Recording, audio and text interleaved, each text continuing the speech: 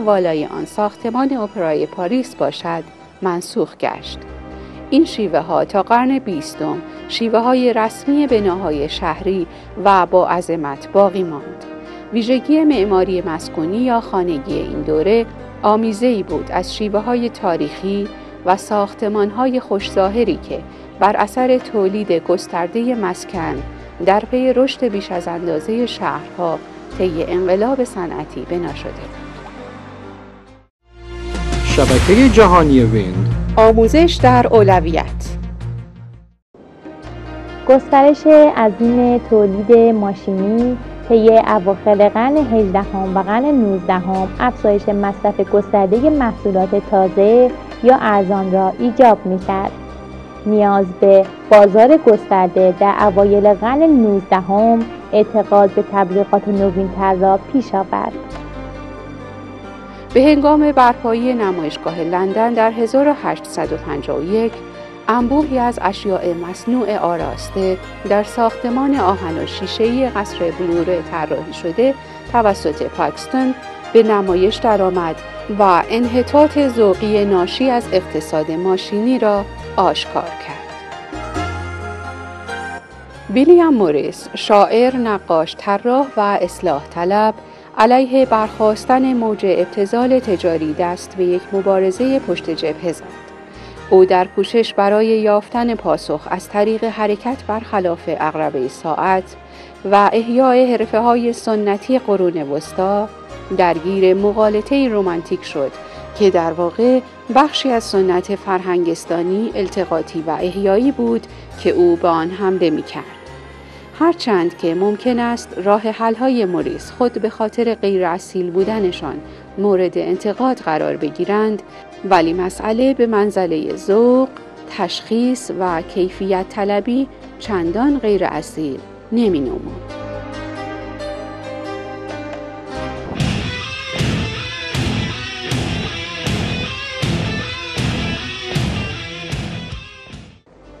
مکتب شیکاگو خواستگاه آسمان خراش ها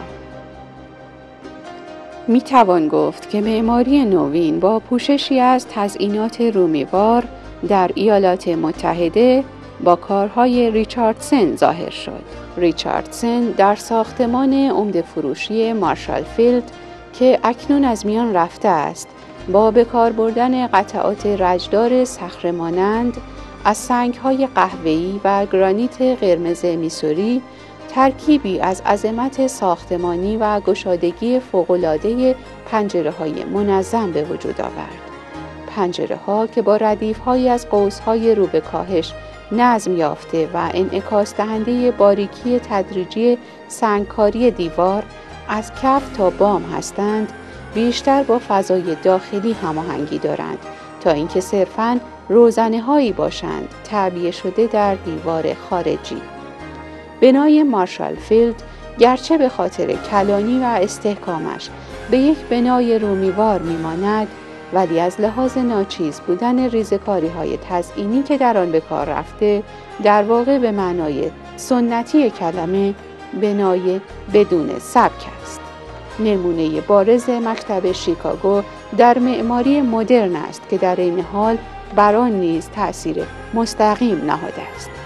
تأثیر فزاینده ریچاردسن بر معماری امریکا پس از مرگ او و با پرورش یافتن معماران جوان امریکایی در پاریس و محیط فرهنگستانی مدرسه هنرهای زیبای آن رو به کاهش نهاد.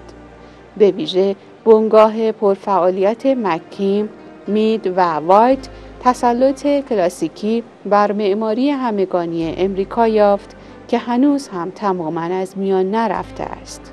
چارلز فولن مککیم با همکاری بنگاه شیکاگویی برنهم و روت در سال 1893 بازار مکاره شیکاگو را به صورت نمونه گسترده و بسیار سازمان یافته از شهرسازی نیمه رومی طراحی کرد.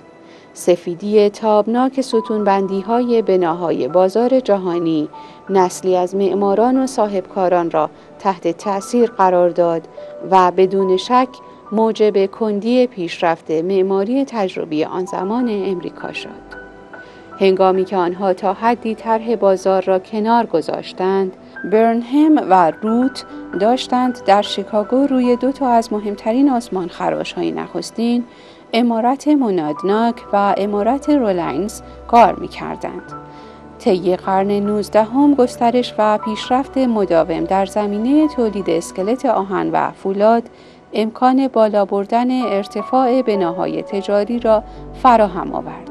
نیازی که زاده رشد تراکم شهری و در عین حال تجربیات پراکنده در زمینه استفاده بیشتر از پنجره فراتر از آنچه نمای قصرهای عصر رنسانس تجویز می کرد بود.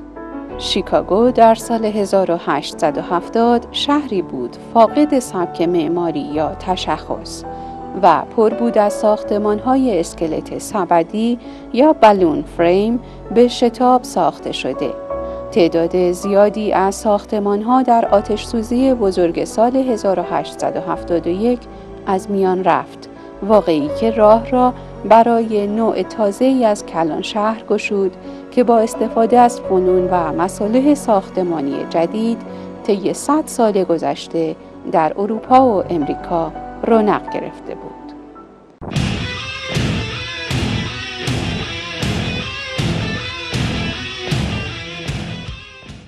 ساختمان بیمه منازل در شیکاگو که بین سالهای 1883 و 1885 به توسط معماری به نام ویلیام لو بارون جنی طراحی و ساخته شد تنها ده طبقه داشت و بلندتر از آسمان خراش های ابتدایی نبود که پیش از آن در نیویورک ساخته شده بود. اهمیت آن در این بود که دارای ساختمان حقیقی یک آسمان خراش بود که در آن اسکلت فلزی داخلی بار غلاف خارجی بنا را تحمل می کرد. این نوآوری هرچند که جنی آن را پیشتر نبرد به همراه پیشرفت آسانسور راه را برای امتداد بی انتهای ارتفاع بناهای تجاری و آفرینش دنیای آسمان خراش هموار ساخت. در امارت تاکوما که طی سالهای 1886 تا 1889 بنا شد، بنگاه معماری نوپای هولابر و روچ نمای عمده را تماما بر اسکلت فلزی استوار کرد و با بهرهگیری حداقل از آجر و سفال برای زیر کار سرشت ساختمان را آشکارا به نمایش گذاشت. عمارت ریلاینس برنهم و روت که در سال 1894 تمام شد، نمایانگر درک معماران از پیامد چارچوب فلزی ساختمان از طریق حذف دیوارها و بازگشودن نماها به صورت جعبه شیشه‌ای بود که در آن عناصر جامد باربر تا حداقل کاهش یافته بود. مفهوم قرن بیستمی آسمان خراش به عنوان قلافی از چارچوب های شیشه‌ای